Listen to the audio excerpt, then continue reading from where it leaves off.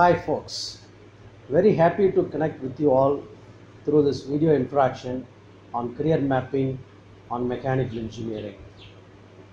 In this video interaction, we will be focusing on the aspect of career mapping for a mechanical engineer right through the first year to final year so that their career is more blossoming for a student. So the next, next question is from most of the students, I guess. So what are the career paths available for a mechanical student? Right. Mechanical engineers have got number of choices.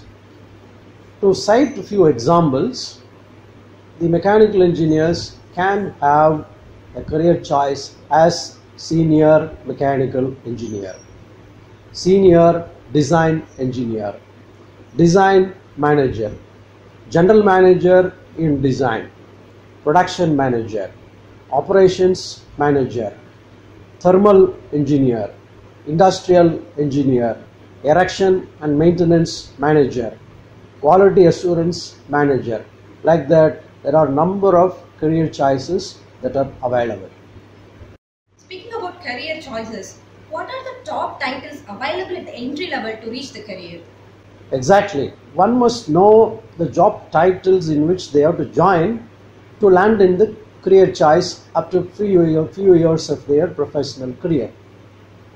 So suppose somebody wants to be a design manager, they should take up a graduate trainee engineer in design or otherwise a design engineer at the entry level.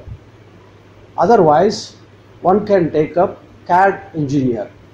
These are two, three job titles that are available for a design manager career. Somebody wants to become a production manager, they should join as a production engineer or operations engineer.